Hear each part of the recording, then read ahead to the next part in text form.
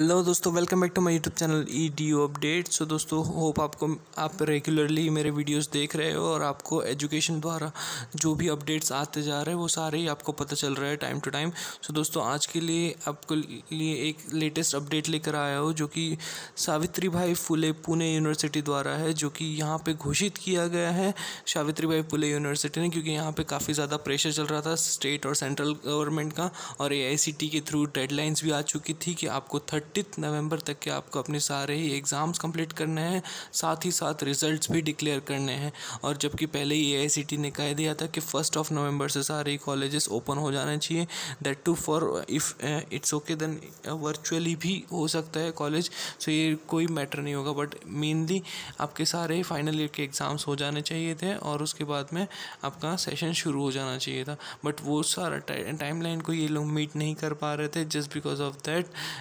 issues create हो रहे थे और काफ़ी मीन्स ये सिंपली कंटेम्प टू कोर्ट हो जाता, जो भी कोर्ट का जो आदेश आया हुआ था, उसके अगेंस्ट में हो जाता। सो उसे रोकने के लिए, उसे रोकने के कई सारे प्रयास किए गए और उसके बाद में फाइनली डेट अनाउंस हो चुकी है कि बिफोर टेंथ ऑफ़ नवंबर आपका जो फाइनल ईयर का रिजल्ट्स है, वो सारे ही डिक्लेयर कर दिए जाएँगे। Almost ninety five percent means more than ninety five percent students के डिक्लेयर हो जाएँगे। बट कुछ स्टूडेंट्स कुछ वक्त स्टूडेंट्स ऐसे हैं जो कि, जिन्हें जेन्यनली कोई कोई इश्यूज़ आ चुके थे ड्यूरिंग देयर एग्जामिनेशन टाइम और लाइक एनी टेक्निकल ग्लीचेस वगैरह कुछ फेस करना पड़ा, जिन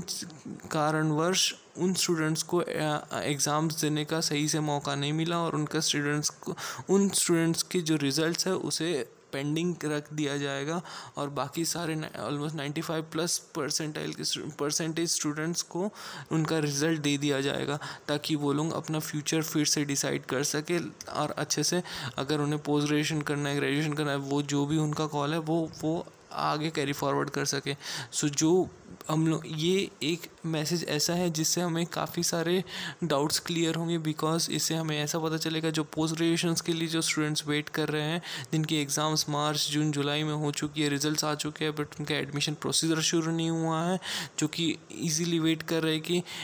एक बार यहाँ पे सारे फाइनल ईयर के एग्ज़ाम्स हो जाए, उसके बाद में इनका एडमिशन का प्रोसीजर शुरू होगा। सो फाइनली जब, जैसे कि काफ़ी सारे कॉलेजेस काफ़ी सारे यूनिवर्सिटीज़ जो भी हमारे महाराष्ट्र के अंदर आते हैं जैसे मुंबई यूनिवर्सिटीज़ ने भी कॉल आउट कर दिया है। मोस्ट ऑफ़ द रिजल्ट्स यहाँ पे ऑलरेडी डिक्लेयर हो चुके हैं मुंबई यूनिवर्सिटी के और एम के भी रिज़ल्ट जो कुछ पेंडिंग है वो आने वाली दस नवंबर तक के वो आ, आ, वो लोग भी आ, उसे रिलीज़ कर देंगे और पुणे यूनिवर्सिटी से भी ये सर्कुलर रिलीज़ हो चुका है कि by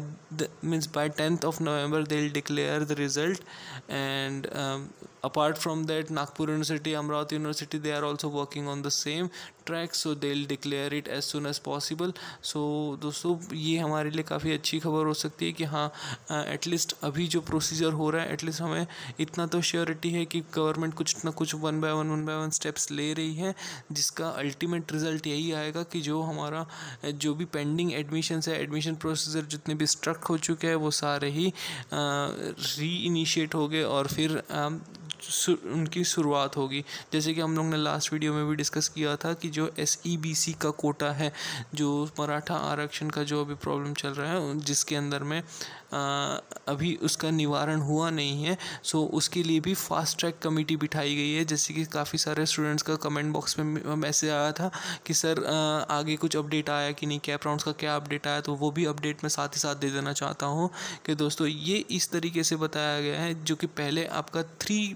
जज का जो बेंच होता है सुप्रीम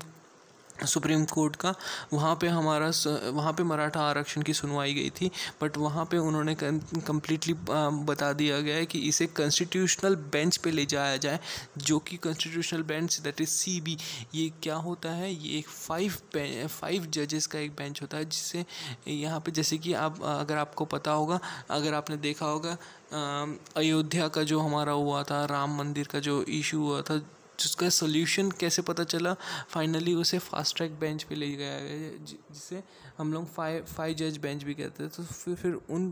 फाइव जज ने बैठ के फिर इसका सोल्यूशन निकाला गया। जस्ट बिकॉज़ जैसे कि हमने, हम जानते हैं सुप्रीम कोर्ट ने भी इस केस को डिले कर दिया था बाय फोर वीक और हम लोग काफ़ी सारे लोग, सारे ही लोग घबरा गए थे कि like four months four weeks means again one month अगर वन मंथ वन मंथ सिर्फ़ सुन, सुनवाई के लिए डिले हो जाता है, उसके बाद में अगर सिर्फ़ सुनवाई ही होती रहेगी तो सल्यूशन कब आएगा? तो उसी को विरोध करते हुए हमारे जो मराठा मराठा जो रिजर्वेशन है, उनके जो प्रमुख हैं हमारे विनोद पाटिल जी, उन्होंने फास्ट ट्रैक की डिमांड की है सुप्रीम कोर्ट से और फिर उसके बाद में फाइव जज पैनल का जो एक निर्णय लिया गया और वो अप्रूव भी हो चुका है। सो जल्द से जल्द वहाँ पे मीन्स इन लोगों का कल ही जैसे कैबिनेट का मीटिंग भी हुआ था और उसके अंदर भी डिस्कस किया गया था कि इलेवेंथ का एडमिशन जल्द से जल्द शुरू होगा। सो दोस्तों, आप लोगों का काफ़ी सारे स्टूडेंट्स का यही क्वेश्चन है कि इलेवेंथ इलेवेंथ क्यों फोकस किया जा रहा है? Why not M B M M S C T just because के, क्योंकि हमारा M B M M S C T पहले भी हम हमारा काफ़ी पहले से ही एग्ज़ाम हो चुका है तो क्यों हमारा फोकस क्यों नहीं हो रहा है? बट दोस्तों, आपको समझने वाली बात है, एक बार अगर जो एडमिशन प्रोसीजर है, वो आपको इलेवेंथ के पॉइंट ऑफ़ व्यू से ही देखना होगा। जैसे कि टेंथ का एक स्टूडेंट पास आउट होकर इलेवेंथ में आएगा, वैसे ही इलेवेंथ का स्टूडेंट पास आउट होकर बी बी एस सी जो भी वो ग्रेजुएशन के लिए जाएगा, और डेफिनेटली फिर वैसे ही ग्रेजुएशन का स्टूडेंट लेके